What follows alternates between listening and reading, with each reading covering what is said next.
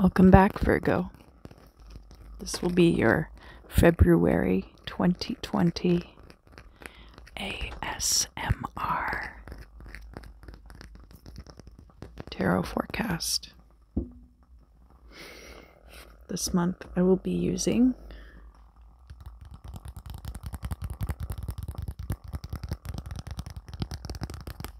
the Cosmic Tarot. Really love the illustrations. And I also have this aromatherapy spray, which is cedarwood and red mandarin, and it is called Stream of Success. So it's supposed to bring success into your life.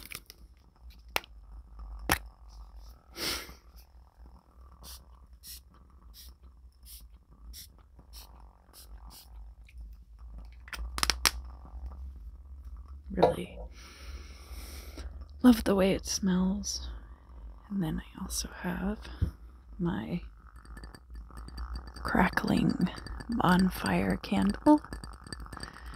And um, I'm sure you cannot smell it uh, through the video, but it smells like smells like a bonfire with like these little sweet undertones too.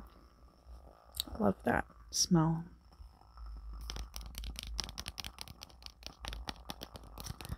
All right, Virgo, let's get started.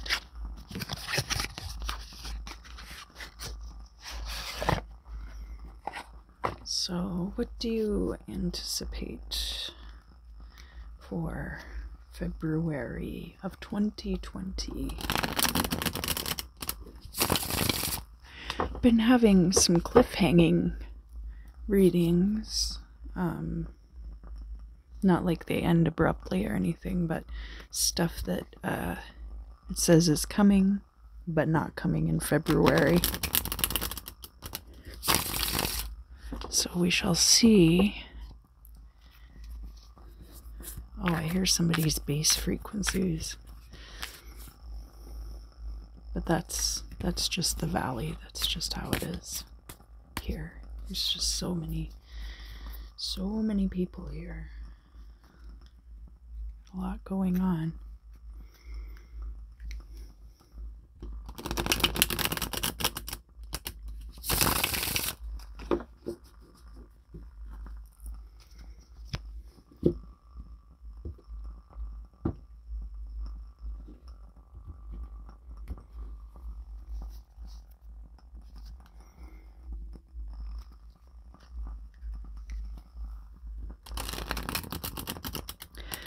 All right, Virgo, let's see what's going on for you in the month of February.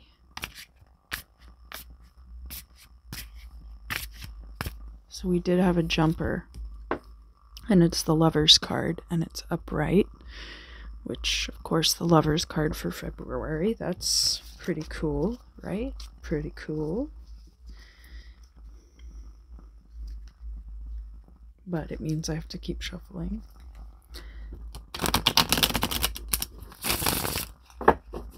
All right, almost there.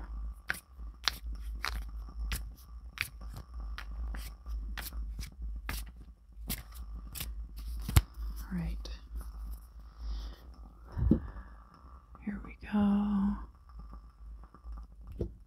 Yeah. All right, so I will be dealing out towards you.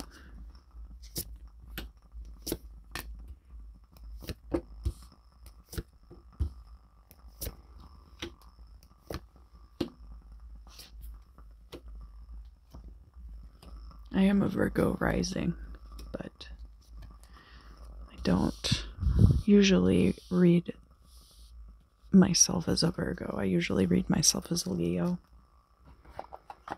which is good for you because I don't make every single reading all about me. Only the Leo reading. All right. So, got my smoky quartz here and my rose quartz here. let's see what is going on for you in the month of February. Oh, this is really cool. So we start out with the Ace of Wands crossed by the Three of Pentacles.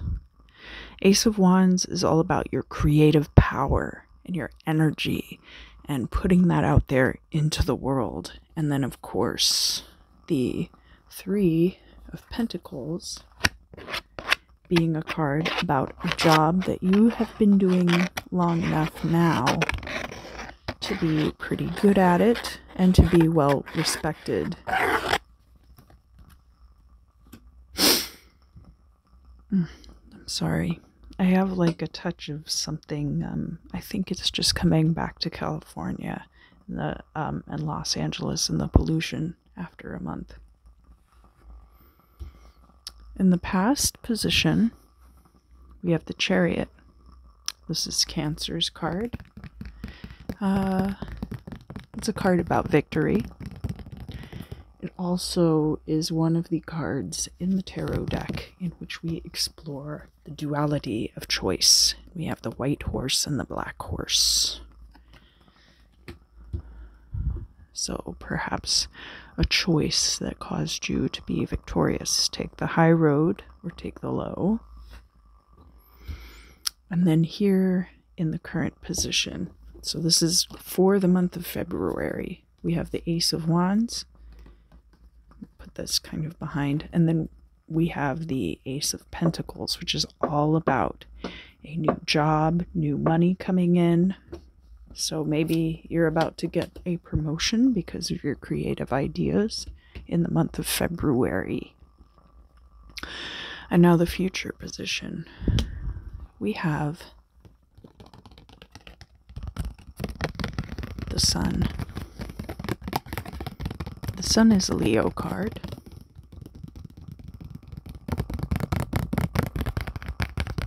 So the sun card in the future position, everything is going to be really great really soon, right? Well, it'll be really great, but not in the month of February. All of this stuff is going to start happening in February, but the culmination of all of this really great new development will not be coming in the month of February. That's not bad. It's just, you know, I mean, true success shouldn't be that short lived. It's just how it goes. These are time dependent readings, so that's kind of how it is.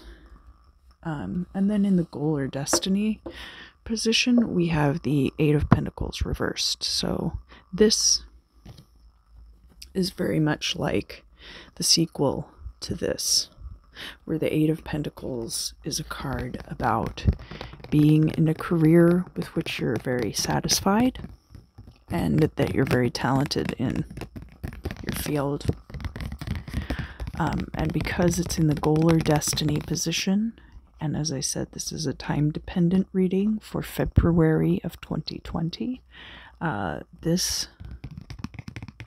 will not be occurring in the month of February, but it will be coming for you probably in the same time frame as this, the sun. Let's see if I can find out a little bit more about that. And I kind of feel like this is like later in the year, not something that's going to be fully culminating in the spring, but like maybe later, like after the summer.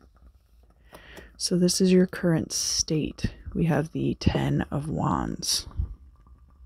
The Ten of Wands card is about a heavy burden. So, possibly, you have, you know, you've got all this creative energy. You're well respected and liked at your job. And you do have the potential for new money to come in in February. But I think, especially for Virgo, who's very detail oriented and very meticulous, that's probably a lot of pressure for you. Let's see how other people are viewing your situation. yeah, I mean, everybody else around you sees you as having the whole world in your hands. And these four corners are the four fixed signs of the zodiac, and they are the uh, four aspects of the tetramorph and represent the four archangels. And I'm sure I've gone, sorry, I'm sure I've gone into that many times before. So I see that you are burdened by um, a lot of the pressures from this job, but no one else sees that. No one else even knows that you feel that way about it. And here in the hopes and fears position, we do have the Two of Cups upright. So I feel like romance is definitely on your mind in this month of February. February. February. And we did have that jumper of the Lover's card.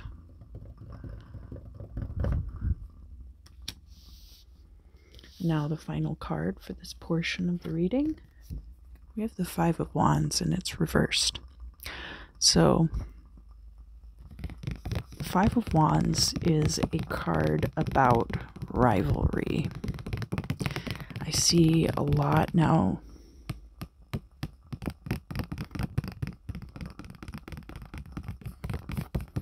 Virgo is an earth sign, and so is very tied to pentacles. So, in some ways, it's possible that some of these pentacles cards could relate to romantic situations as well. Uh, but I really feel a lot of like career energy in this spread and money energy. Um, because we are being told here that romance is definitely on your mind. Um, but I do want to open your mind to the possibility that a lot of the career aspects of this reading could also pertain to a romantic relationship. And as such, the Five of Wands, because we are looking at a lot of wand energy compounding your pentacle energy, it's entirely possible that the there might be a fire sign involved in your life right now. This could be a romance in the workplace. Um, it could be a job that you're very passionate about to the point that um, it almost is your romantic partner. And so, what we have here is in the goal or destiny position, we do have this Eight of Pentacles, and then the final outcome, we have the Five of Wands, and it's reversed. Both of these cards being reversed. Um, I feel like this one is more like a more of a long term than the final outcome. And I feel this way because by the time you're this established in this career, you're probably not going to be dealing with as much of this anymore. Especially if you've got stuff like this coming in at some point in the future. We're looking at like a happy outcome and not something that is in a state of turmoil. But it's also possible that the nature of your creative field because it definitely looks like a creative career that we're looking at here. Um, with as many wands and as many pentacles as are in this reading.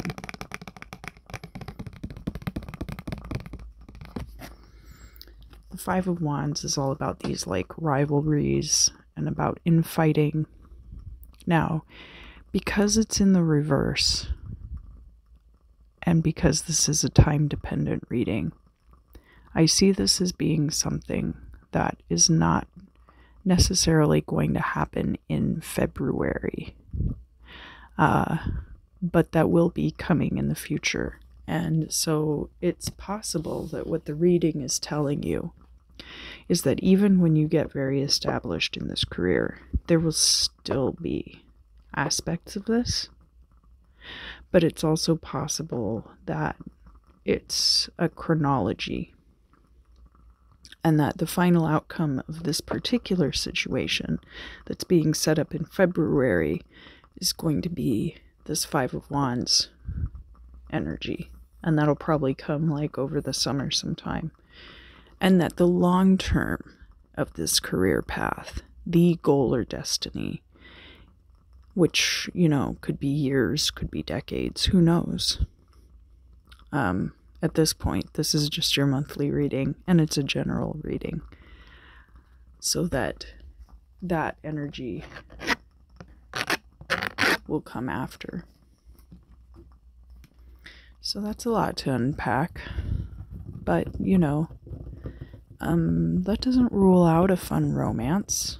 I think romance is definitely going to be on your mind this month um, in spite of all the trials and tribulations of the workplace. So, you know, don't forget to have fun. Don't forget to have a good time. In February, there are many opportunities for it, of course. Now, I was encouraged by my husband to pull this deck out again. Um, it's a lot of fun, depending on how you feel about the macabre.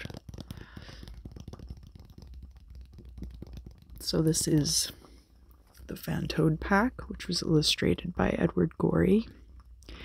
And it has a lot of like uh, malefic interpretations in the little booklet here. So I've been throwing it in at the end, not as like a continuation of the reading or a culmination of the reading, but as a little fun aside, really, more than anything else. Because how many of us are lucky enough to get into a boating accident, right?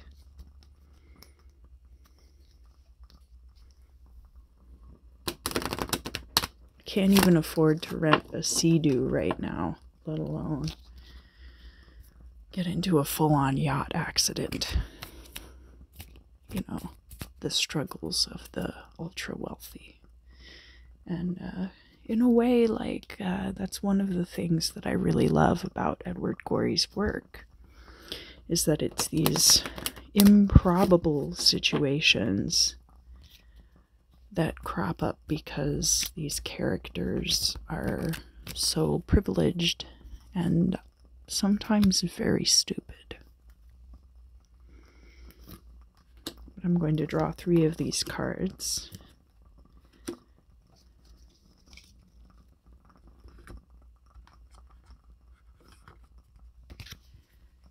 Read you about your fictional demise.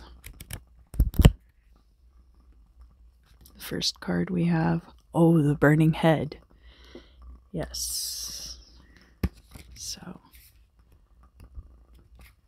Sunday, bafflement, loss of saliva, a forged deed, an impasse, extradition, a boating accident, chilblains, delayed desires, wandering sickness, evil companions, an impediment, and despondency.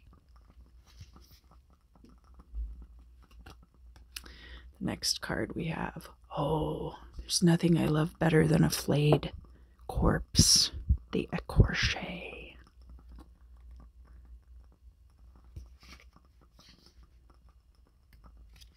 Jesus Christ. Just making me whole again.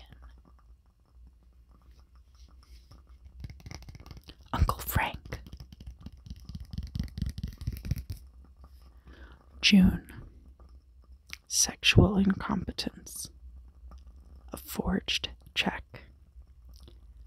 Obscurity. Irregularities. puckers, inconsistency, an accident on a pier. My goodness, you're getting awfully close to the water. Morbid sensibilities, deception, a social disease, confinement, and.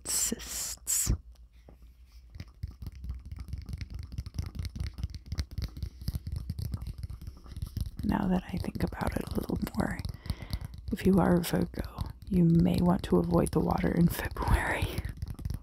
It's a very cold time of year to swim, anyway. All right, last one. The child.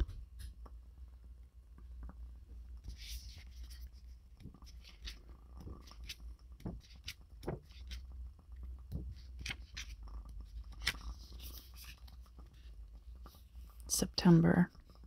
That's your birth month, right? Denigration, sexual inadequacy, styes. We had cysts, now we've got styes, hallucinations, breakage, loss of youth, rust, crawling sickness, an obstacle, forced restraint, aberrations, and catarrh. Not like the country Qatar, but catarrh, like coughing fit. Very interesting. Very interesting indeed. I didn't get a lot of uh, feelings from my pulling cards from this deck for the other signs, but um, I'm definitely seeing a pattern for Virgos that maybe you should stay away from the water just for a month. No big deal. And that's not for everybody. I mean, I'm sure that's just for like a handful of people.